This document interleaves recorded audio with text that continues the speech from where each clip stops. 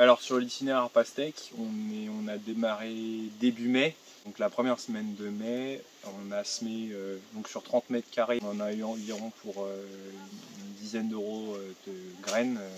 on a fait moitié Early Moonbeam, moitié Sugar Baby. on a semé en, en godet directement, en godet carré de 5 cm. Et les plants ont passé 3 semaines en pépinière. On les a replantés fin mai. 30 mètres carrés, une heure de, de repiquage avec euh, sur une bâche d'ensilage. Donc euh, pas d'ajout de matière organique sur notre china. Une bâche, après une culture pois mange tout, euh, qui n'avait pas été désherbée parce qu'ils étaient sur grillage. Et du coup, on a une concurrence sur la pastèque qui a baissé nos rendements et qui a enherbé la planche malgré la bâche d'ensilage. Donc sur tout l'itinéraire, il y a eu une heure de repiquage total. Donc ça c'était fin mai. Et on a eu les premières pastèques donc jaunes euh, qui sont précoces, early moonbeam, euh, la dernière semaine de juillet jusqu'à euh, pendant deux semaines jusqu'à à peu près le 10 août.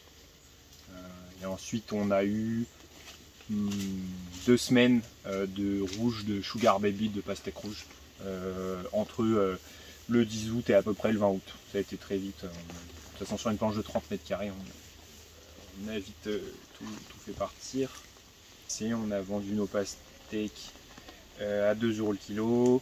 Au mètre carré en kilo, euh, je pense qu'on serait sur 3, euh, 3 kilos. Je pense que c'est raisonnable sur la pastèque. La, récolte est très rapide. Par contre, le, la pastèque, c'est autant le temps de récolte. Il y aura peut-être, je dirais, près deux fois 10 minutes, une ou deux semaines avant la récolte pour commencer à se dire qu'elles sont mûres et et euh, soit il y a plusieurs techniques, tapoter sur la pastèque, euh, entendre qu'elle commence à, se remplir vraiment, de, qu'elle commence à être bonne, et estimer qu'il va falloir la récolter, donc la vendre assez rapidement. Donc ça c'est un temps qui quand même rajoute euh, une demi-heure, et du coup sur l'itinéraire total, on doit être, on doit être à 2 heures, 2 heures et demie, global. Plus en semi pépinière, une autre demi-heure, plutôt 3 heures. Et l'arrosage, on était en goutte à goutte, avec deux lignes sur une planche 20 mètres, sur une planche d'un mètre de large par 30 et deux lignes de goutte à goutte qui tournaient 5 euh, minutes par jour, donc euh, environ 35 minutes par, euh, par semaine, tout, tout l'été.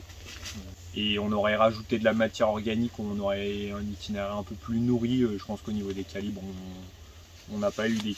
On a eu quelques calibres à, à 5-6 kg, mais euh, sur des planches très très nourries, euh, sur la pastèque, moi j'ai déjà vu des planches de pastèque avec toutes les pastèques qui font minimum 5 kg quoi.